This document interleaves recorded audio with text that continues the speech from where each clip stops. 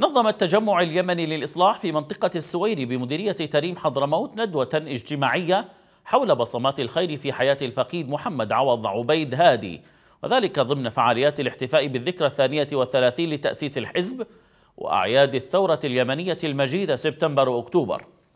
وأشاد رئيس الإصلاح بالسويري صالح محمد باحارثة بمسيرة الفقيد ومناقبه الدعوية والخيرية والاجتماعية والثقافية والسياسية. ودعا الحضور إلى التأسي بالقادة الذين أفنوا حياتهم من أجل نهضة وتنمية بلدانهم ومجتمعاتهم. واستعرضت الندوة إسهامات الفقيد في الجانب الاجتماعي والمشاريع التنموية والخدمية في المديرية ودوره المتميز على الصعيد السياسي ومشاركته الفاعلة في إدارة التجمع اليمني للإصلاح وتمثيله في الكثير من المؤتمرات والمحافل الوطنية الداخلية والخارجية.